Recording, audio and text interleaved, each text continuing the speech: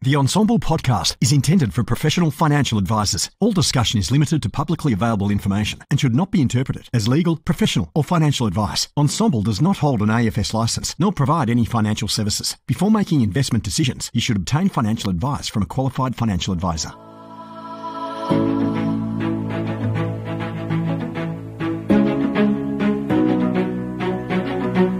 Hey guys, it's Ben Nash here. I'm one of the co-founders at Ensombl and founder of financial advice company Pivot Wealth, which is my business baby I started from scratch a little bit over seven years ago. In that time, I've leveraged some of the learnings of the Ensombl community to scale the business to become one of the better known financial advice companies for high income accumulators in Australia. And through this podcast, you can join me each Tuesday as I have the absolute privilege of interviewing some amazing people where I'm going to selfishly be able to learn and continue my journey to improve every area of my advice business. Hopefully you can learn a few things on that journey as well. Jump over to ensombl.com and if you haven't already signed up to learn and share from others or simply download the app. This podcast is proudly sponsored by NetWealth. Imagine a world where you can offer clients access to local and international investments. A world where you can engage with clients meaningfully, backed by powerful data and insights with mobile friendly technology. A world where you can build business efficiencies through scaled managed accounts and bulk reporting. And a world where you can get all the latest news, research, and insights to spot the changes that really matter. Wealth is more than just money. It's about opportunity and progress. A world of opportunity awaits you at netwealth.com.au forward slash woo.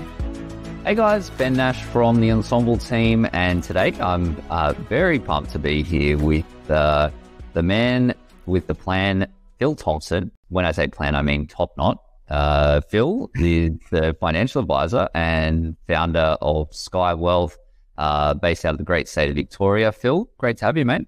Hey, thanks for having me, Nashy. Good to be here. Mate, I thought uh, a good place to start is is really just your advice journey and, and how you've ended up where you are today. Yeah, cool. Yeah, so I got into advice around 2011, I think, around about then, 2011, 2012. And um, early on, I, I earned an advice business. So um, the the advisor I was working for exited pretty early for me getting in, and I just took the plunge and, and took over the business, um, which was um, fun, interesting, a whole bunch of learnings there.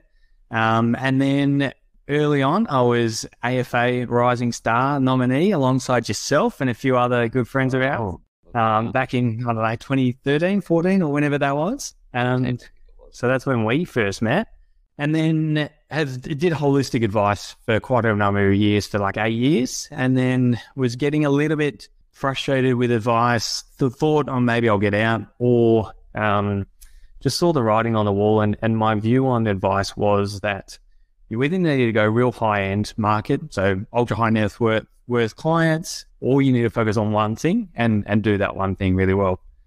And so my kind of desire and passion is to work with, you know, clients just like myself, you know, average, average Australian, average income. Um, and so I saw that kind of, you know, one of the only ways to do that well, not the only way, but but I found that uh, a good way to do that was to move into insurance. Helps people make a really difficult financial decision, um, which insurance is, and we can do it at, at a low cost um, to the client. Um, because the alternative was you got to charge really high fees to to add value um, and to to you know execute the services that advisors need to do. So that's what we did. 2019, kind of 2020 we didn't we don't work with any clients other than insurance only clients. Mm. And what did you do with your white clients?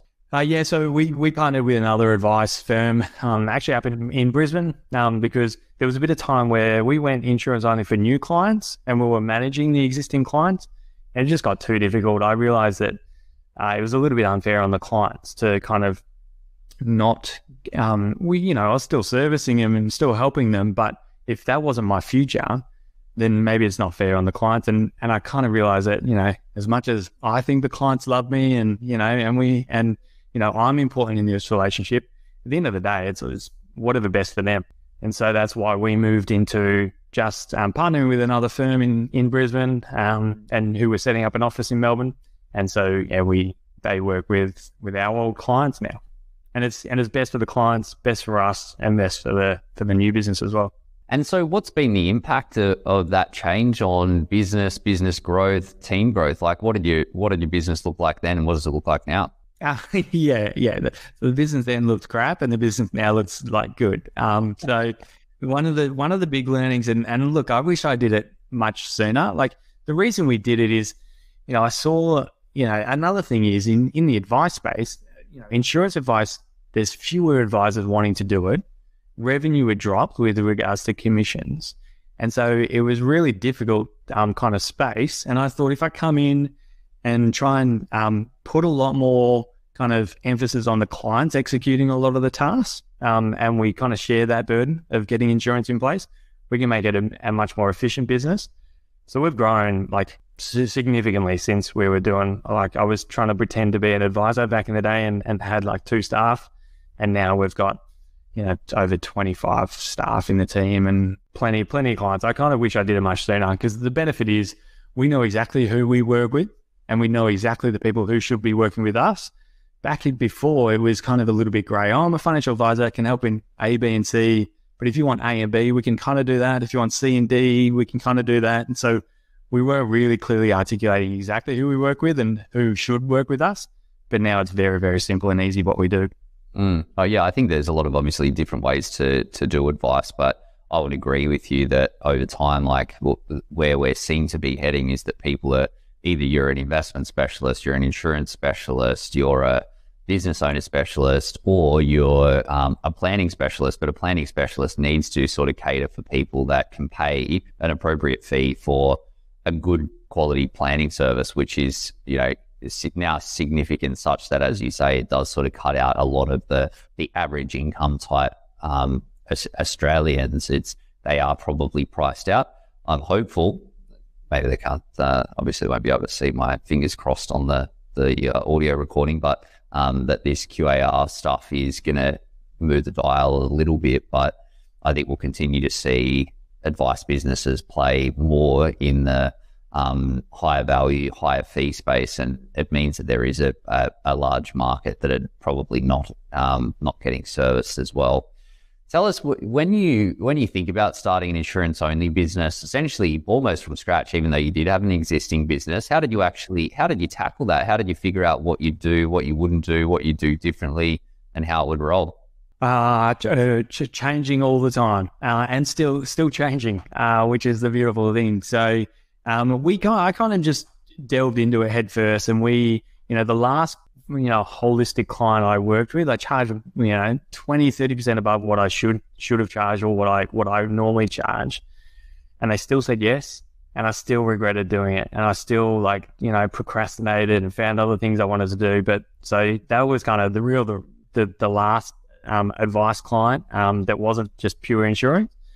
So when we moved to insurance only, um, we just kind of just started solving problems and going, okay, what what's some issues? So we, you know, originally we weren't charging a fee at all. So we would say, hey, we will do a a rough guide, a proposal for you to kind of go, this is roughly how much cover we think you need and roughly the cost and here maybe the terms. And then we did a lot of work and we kind of built that out where we, okay, as a part of that, we would do a pre-assessment. And then from that kind of proposal to the statement of advice, we would, um, you know, get the clients to commit. Hey, if you if we do the advice and then you pull out, we'll charge your fee. But we still weren't charging a fee um, up until then. And then we realized at that proposal stage, we actually did most of the work to to advice. We actually pretty much were getting everything ready and doing all the research to provide advice, full pre-assessment, full quote analysis, and everything. So I just was like, why don't we just give advice then?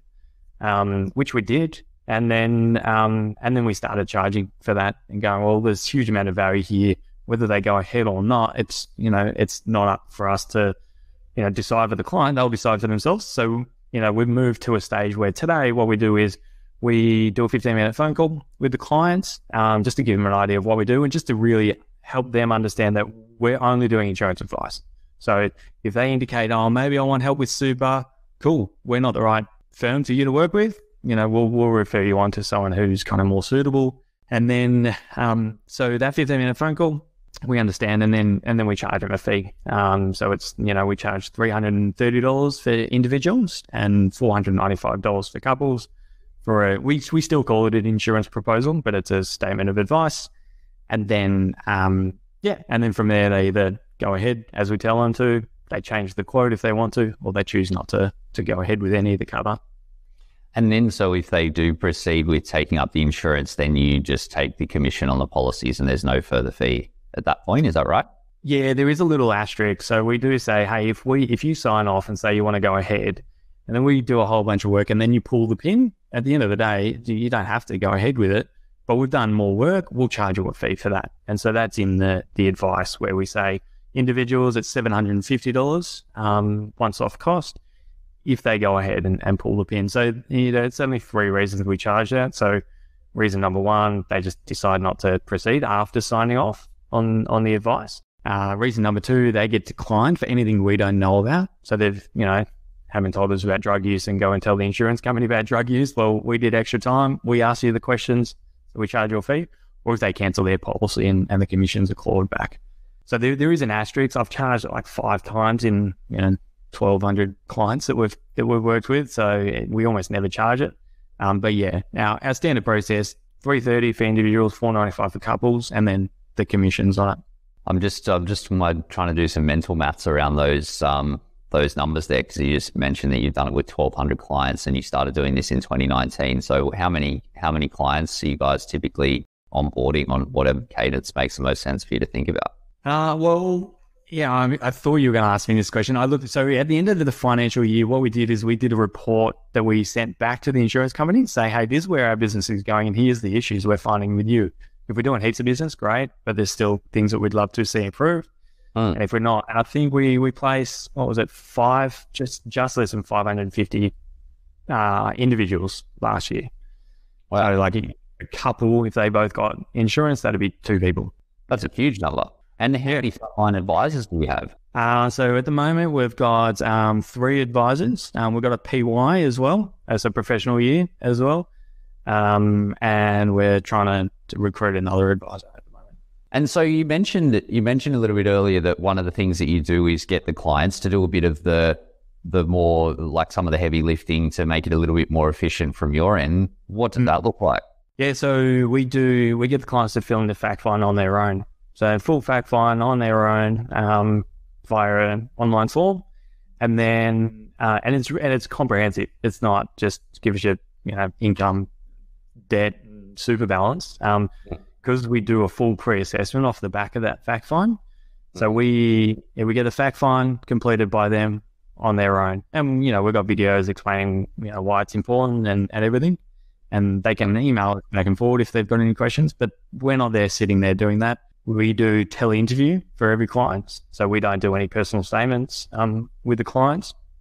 So some of that stuff, um, we, it's not, look, it's not revolutionary. Most cl- advisors would be getting their clients to do that stuff as well. But, you know, you talk to some advisors who will do like full, full meetings. Like, like your business, you do a number of meetings. That, that's right. Well, yeah, well, we we do get the clients to complete their own fact find, but then we review that in detail and discuss it with them in detail, not every point, but anything that we think needs to, to be clarified. We do that after though they've they've signed on as a client and and mm. you know paid a deposit on our advice fees and, and that sort of yeah. stuff. But yeah, we don't necessarily sit with them to to to do that. Um, but yeah, I mean, we do we do spend an hour and a half asking them questions before we go before we go into doing our bit of the work from that comes from that.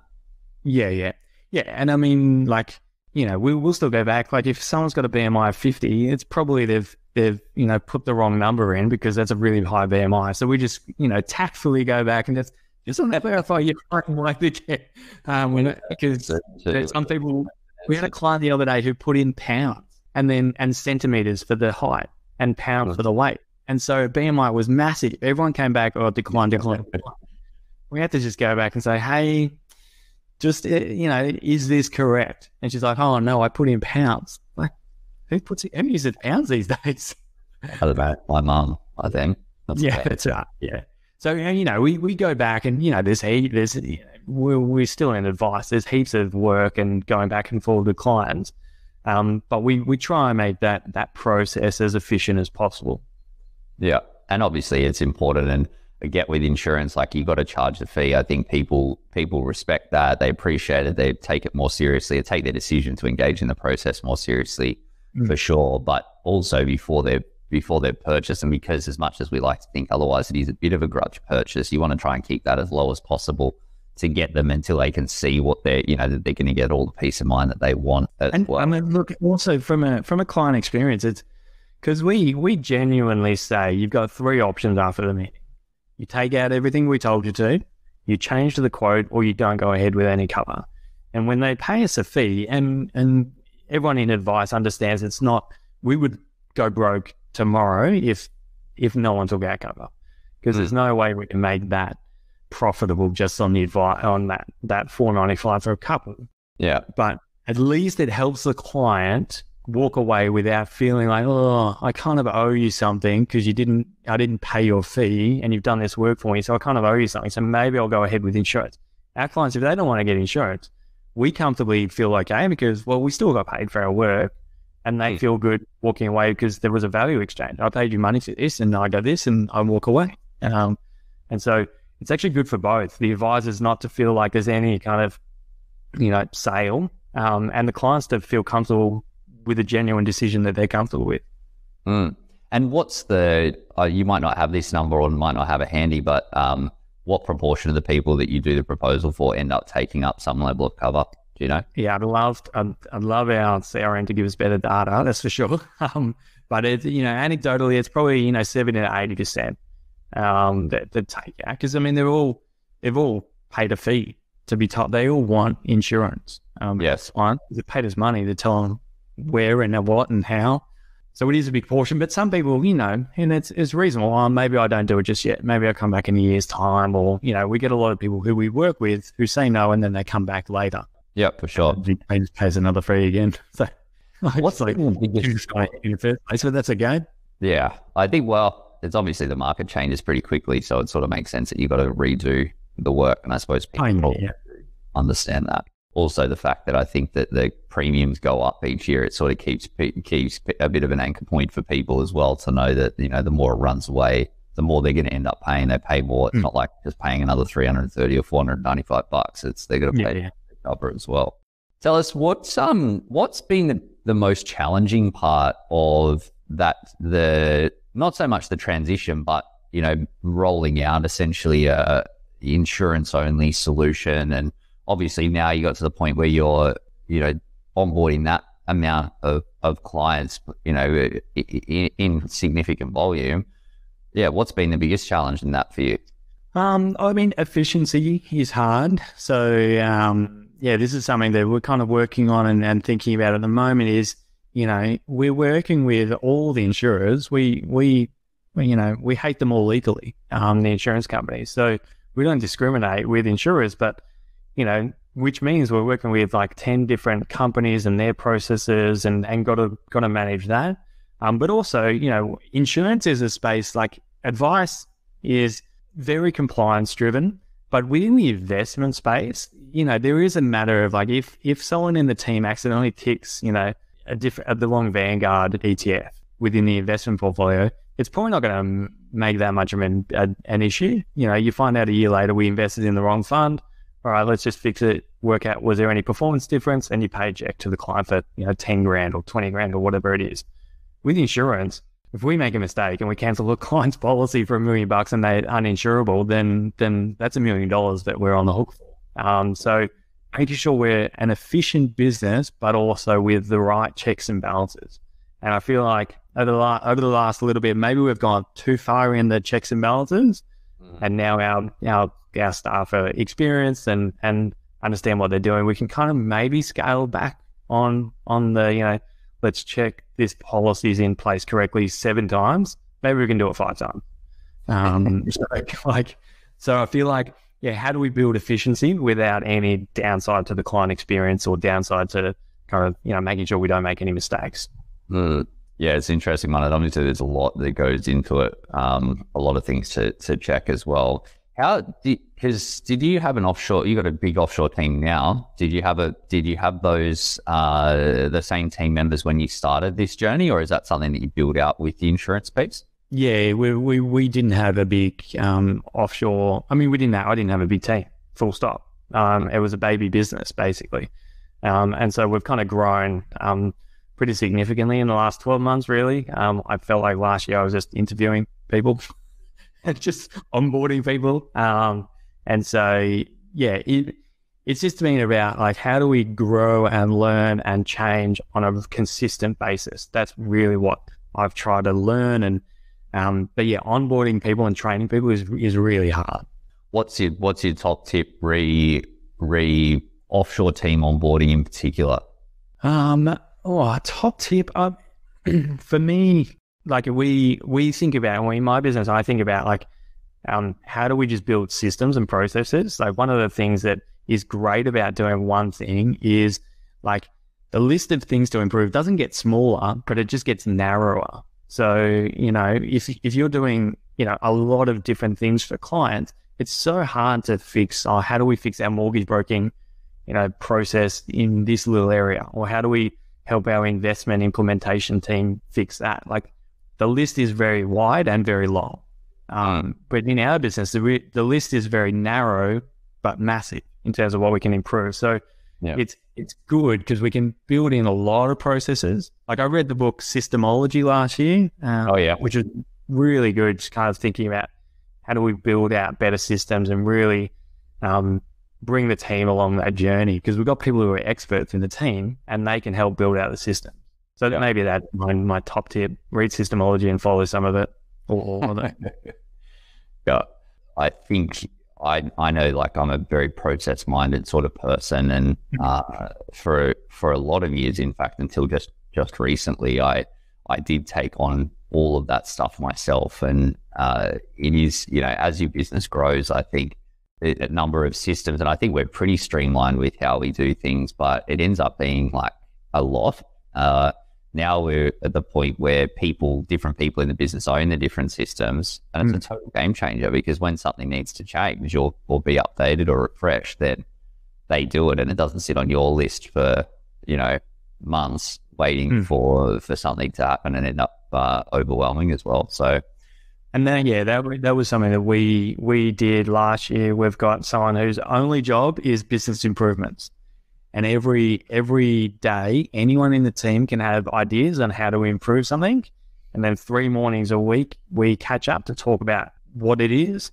And we kind of agree, like whoever's the stakeholder in the area that needs to be improved, we kind of say, oh, yeah, let's do this. And this one person's job is to just implement it and and do it. And because that was the issue, it was all on me. Phil, we need to fix this. We need to fix it. Mm. Cool. Just get to the back of the line because everyone's got suggestions. Um, so yeah, we've got one person whose only job is just to fix, you know, improve the business. That's an interesting role. How do you how do you hire for a role like that? Uh, we didn't. We hired for a different role, and she was very very good at it. And I was thinking about how do we how do we do this? And I've gone, you're good at doing this, um, so I want to basically that can be your only job is fix these little issues because I I just want to always be moving and improving. But it's it's gets as it gets bigger and the beast gets a bit bigger, you kind of can like I feel like oh I need to be a bit more cautious and thoughtful about these changes, and so but I still want to move quickly, and so that's why I've just got one person to implement it, and then also understand the the beast, and as so we can chat about any change. Because everyone in the business has got great ideas, like like the best ideas because they're the ones doing it all day long. I've got no idea what most of the people do, so I want them to come up with the ideas of how to improve it and think creatively and then just suggest it and then and then it kind of goes through this filter process and then we change it all the time. Is that an onshore role or an offshore role? Uh, offshore. Yeah. Awesome.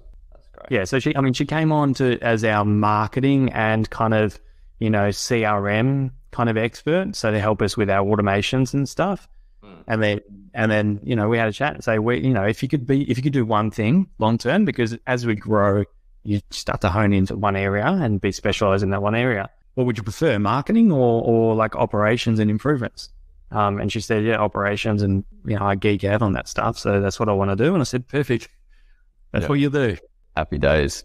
Yeah. That's one of the advantages, I think, of having a growing business and a growing team is that it does allow you that flexibility with with where someone wants to take their role. So there's mm. a lot of opportunities for different things you can be doing more of. So I know when we've been baking that into our our progression planning with the team, it's like they can just take it wherever makes the most sense for them, and it and it sort of gels. So, uh, I mean, how, I've got a, I've got a question for you about that. Like, how do you think about that when you've got team members saying, "Oh, I think I want to be here," but as a business owner, like the business will probably prefer them there, and you see their skills working better in a different area. How do you manage that with those with those team members?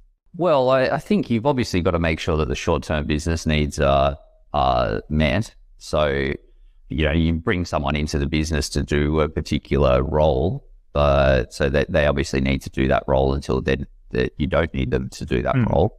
But I think if people if people demonstrate capability and enthusiasm for doing a particular thing and they're good at it, then great. They they can add more value to the business by doing that way. So we had like uh, Tim in our team. He joined the business as an associate. He wanted to be wanted to be an associate, wanted to be an advisor, and he and then he had um, he's right into systems and stuff as well. And he's he came to me one day and said, "Oh, I think we could track the workflow better for our onboarding process through using Monday.com." And he goes, "This is what it looks like." And he goes, "And by the way, I've just I put together this you know rough outline of what this could look like." And I was blown away. And like I'm a process guy as mm. well. And so he showed me that, and I was like, "Wow, this is amazing!" Like, obviously, there's a there's a skill set there. So I said, "Well, great." I said, "Run with it. Let's let's do it." and we he did, and and we ended up using that approach, and worked pretty well. Now we're not using it now because we've sort of leveled up our our CRM since that time, but that to me demonstrated capability, and then. Um, I started getting him involved in more things. And then we had our practice manager was going on maternity leave. We had a real need for that role to be filled. And for me, it's much easier to hire a not that it's easy, but it is easier to hire an associate than it is to hire a um, you know an operations manager. Mm. And he'd already demonstrated a capability and had an understanding of the business, so he just sort of slotted into that role. And now he's absolutely crushing it and has you know been a total game changer for the way that we tackle what we do. Similarly, our team leader, our team leader, the first um, offshore team member that we brought on, she's now running the team. Like she's a team leader for, for the for the offshore team. Even though she's moved, she was in the Philippines. She's now moved to Canada. Now she's also she's wants to do more on the on the operation side. Um, and she's basically being like an implementation manager, running a bunch of client meetings because we recognized that there was that wasn't working the, the way that we wanted it to in the business. So she's doing more on that side.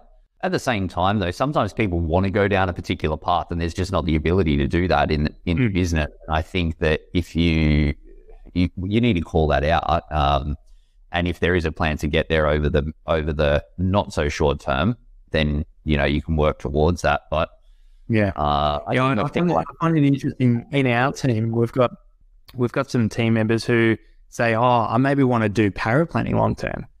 and I see their role in like, you know, client services and going, well, you'll be more valuable into the business where you are. You're good at what you're doing. And I can see more growth for you in this area. So I think personally, I think, and like, you know, and, and your personal, you know, salary and everything like that is not going to increase over here. But, but the idea that, oh, that's career progression for some people. And I personally am like, I think this is, this is better career progression for you. Um, you know, for, for all of those factors, I yeah, those those conversations are really interesting to go, uh, you know, because there is this, you know, client services, then Paraplan as number, you know, is a step above. Um, mm. and my philosophy is, you know, within our business, like I kind of, you know, apologize to the advisors and say, look, one of the issues of being an advisor at Skye is you're not the hero. Um, like most advice businesses are. It's like the, the advisor, they're the pinnacle. They're the they're the the top dogs um, mm. of the of the business. But at Skye, the way we think about it is like the the junior client services officer is just as impactful in in doing what we do and, and helps us do what we do that they're really important. And so this kind of like outside thinking of like what is a hierarchy in a financial advice business and then mm. what what I feel like is best suited for them and the business and their career is kind of you know there is a little bit of a disjointedness and had, having these conversations is is really interesting. I've had that same conversation with offshore team members wanting to move into power paraplanner seats as well. And as much as it is really unsaid, I feel, and uh, we know that it's not the case. I think it is driven in a large part by the fact that paraplanners get paid more money in the Philippines than non-paraplanner employees on average. And I think given that their overall their, their wages are, you know, relatively low, they're they're not um uh you know like super affluent, I suppose, from from an income perspective that we've had and like implementation team members and they go, I want to do that. I'm like, you might you're going to make the same money. And when they really yeah. understand that and believe it, then they go, okay, well, yeah, like it's more yeah. of a um, like you say, that it's a level up thing. But for us, like we've got, yeah, the, the, our implementation and they were, you know, we used to call them admin, but they're now essentially implementation people that they're as important, perhaps more important when it comes to, you know, the, the business opportunity than the paraplan. Uh, maybe not more important, maybe just as important. So, yeah. Yeah, it is this interesting, yeah, cur- yeah, staff and, and managing, you know, what's good for them, what's good for me, what's, you know, and, and also put, you know, I, I also think about how do I look outside of myself and go like, you know, people are going to automatically think I'm being selfish, telling them I think this is in your best interest because mm. everyone's innately selfish. So, um, but how do I look outside myself and go, look, I actually do think like, and I and I say it straight. I say you're paid better than than what you will be over here. I can tell you that today, and I think it's best for you. The only benefit I can see you doing that is finding a job external from Skye.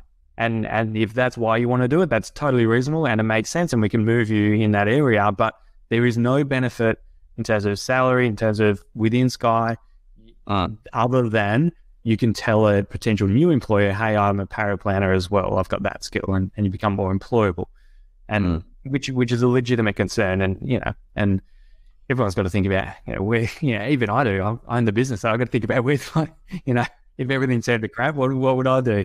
Sometimes, though, I think people just really want to do the work. Like we've got a young advisor that we put into a sales seat, and he's crushing it in sales and relationship management in the business. And he, but he, I really want him to stay in sales, but he really wants to be an advisor. And so I'm like, I have to be supportive of that. So as much as I think he probably could earn more money, he can certainly add more value to the business. Um, he wants to go down. And that's and yeah, it's just about understanding. Is is your motivation because you want to do that work? If that's the case, great. But if your motivation is these external kind of made up factors, maybe we have a chat about it. Absolutely. What's um what's coming up for you, Phil? What are you what are you focused on now? Uh, continue to grow. We're just kind of doubling down. Um, really is is our aim. Like for for us, you know, there there is a, a continual trend for advice firms to get out of insurance less advisors are doing insurance. Like, you know, we, when we caught up the other day and someone tried to pitch you a service, it was really an interesting conversation we were in. Um, and you're just like, well, we don't really do insurance. um, yeah. Someone's trying to sell you an insurance product. Um, I think that's a big trend. Advisors are getting out of it. It's too hard. It's it's very complex. It's high risk, and so we're just going all in on that space. And and unfortunately, the the ability for clients to get insurance advice is only diminishing. Um, and so I, I, only see kind of, you know, upside in our business. Love it, mate. It's good to see you. I, my last question for you, and I'll put a caveat on this one, but it's the question is if you could go back and do one thing differently, what would it be other than getting into insurance only advice sooner? Yeah, so um, well, that's my answer. um, so let me let me have a think about it. What would I do different? Um, oh, I would be I think when I first took over the business um, that I took over, I was I was very concerned about a whole bunch of things. Um, like you know, our client's going to leave. Uh, you know, you know, I've just spent a whole bunch of money that's not my money, someone else's money who lent it to me on a business. How do I secure this? And just being less worried about that and more thinking about like, how do I just build a good business? How do I build processes? How do I actually grow and bring on new clients? That's the hardest thing about advice is not as hard any, at the moment. Like we're kind of living in a golden era where there's more clients than we can ever anyone can service. Um, but back when I started, back in my day, it was I found it really really difficult to to find new clients, um, and I was focused on things that weren't impacting that ability to find new clients. Because when you got clients, you'll solve the problems later. Yeah, the our business coach says the answer to all problems is more sales. Mm. More more sales, more money, more ability to solve pro- solve solve problems in different ways. So yeah, and that and that was the case for us when we just started really getting a lot of leads. Like that's why we just iterated so quickly. It's because we had to. Like when you don't really have the clients and you try and solve the client experience before you got any clients, like mm. it's so stupid. what are you solving? You just imagining this idea that clients will love you for this or not like you for this. And and we all did it. All all young advisors did it. We thought about our amazing solution before we even had a bloody client. Absolutely. Yeah. I think when you start doing volume, you immediately start seeing the pressure points and what can we improve or what keeps coming up or what's a recurring issue. Uh, it's a good way to identify things. It's just, and then it's just resourcing. And if you if you've got enough clients, then you can resource appropriately. If you don't, then you sort of can't as well. So yeah, correct, mate. I love that. Thank you for for sharing your your insights. I um, yeah, it's it's gr- it's great to see see from the sidelines. And uh, yeah, mate, thanks again. No worries. Thanks for having me.